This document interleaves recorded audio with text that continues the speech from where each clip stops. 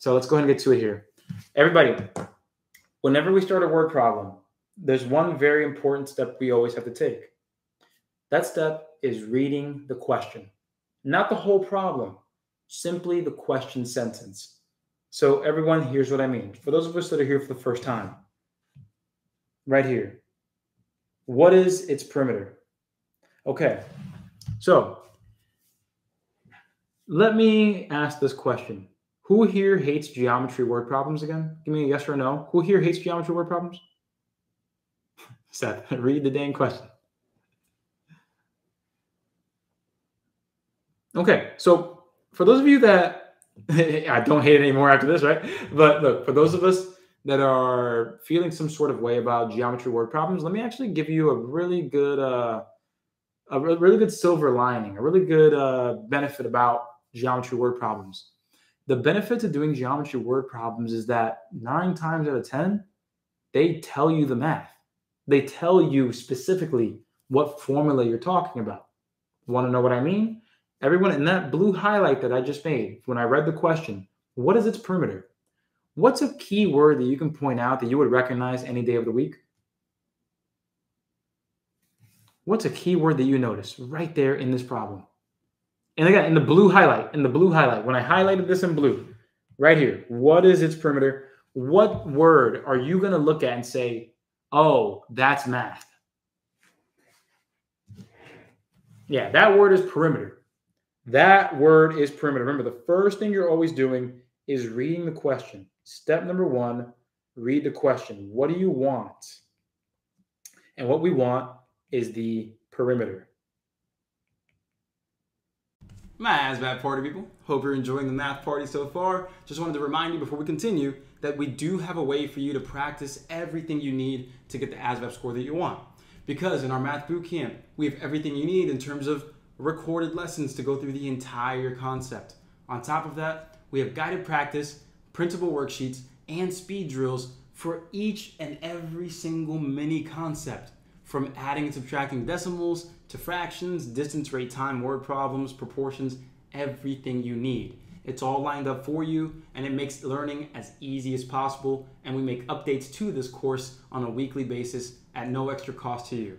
So I really urge you and implore you go ahead, check out the link in the description for the Math Bootcamp, which is also included in our full program, and we make it as affordable as possible. So go ahead, click the link in the description to learn about this more. That way, you know exactly what's available to you to raise your score. I don't want you to feel test anxiety. I don't want you to feel like you're lost and you know you're just hoping for the best. I want you to take control of your studying, and the ASVAB All Access program and the Math Bootcamp are the exact ways to do it. So if you have any questions, my contact info is also in the description. But before we continue, please check it out so you know exactly what's available to you. That way you can feel confident that there is a solution for you. Let's get back to the video though. Let's ace the ASVAB. Okay. Now, everyone, please help me out. We all know that perimeter means the distance around a shape, secure the perimeter. We've talked about that. But my follow up question is this my follow up question is well, don't we have some different formulas for different shapes? Yeah. So your follow up question needs to be if I see that I'm trying to find perimeter, my next question is, well, what's the shape? Answer that for me really quick. Read the question, read the whole problem. What shape are we dealing with?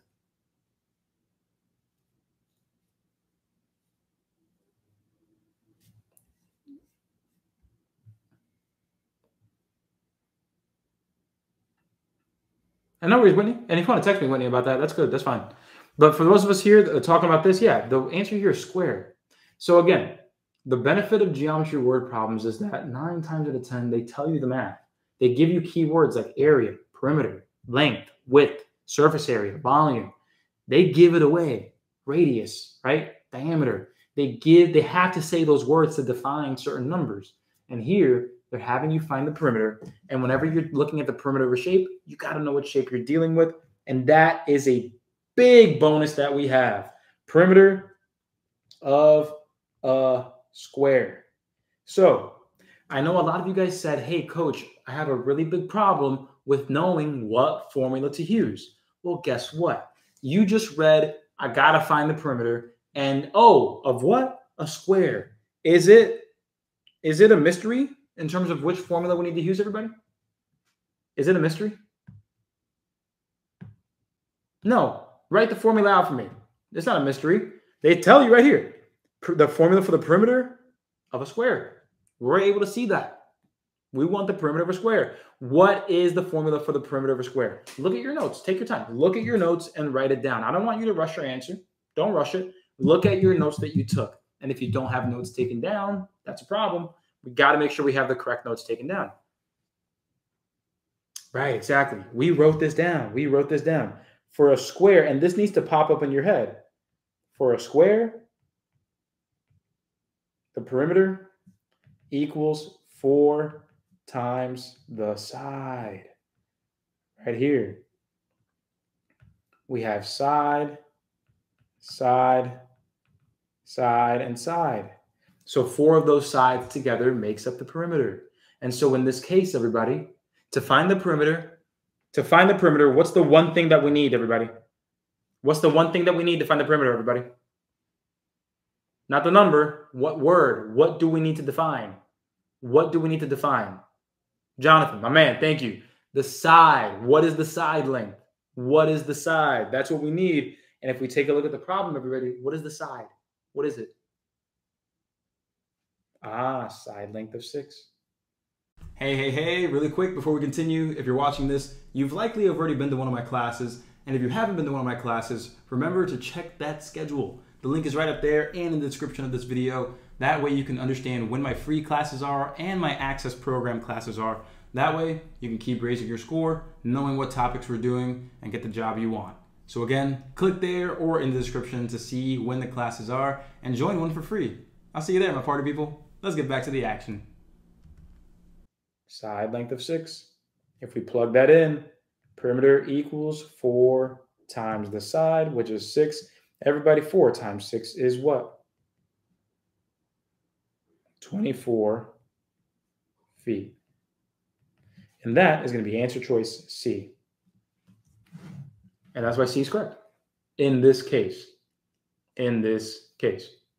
So let me walk you through the basic strategy again for word problems because I know some of us were a little more focused on the actual numbers. That's cool.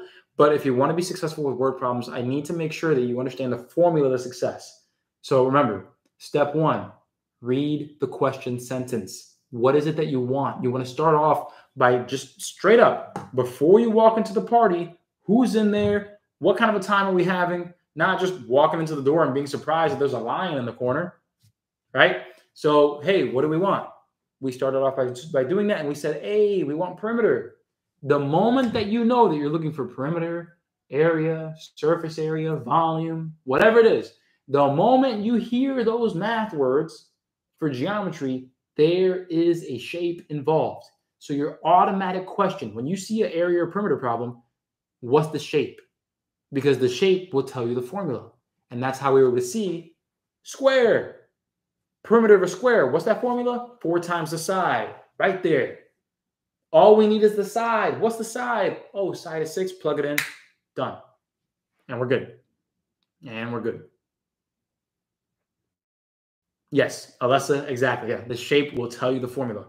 For example, if I said perimeter of a rectangle, two times the length plus two times the width. If I said area of a square, side times side.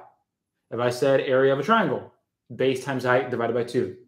Depending on the shape and what you're looking for, there's a formula specific to it.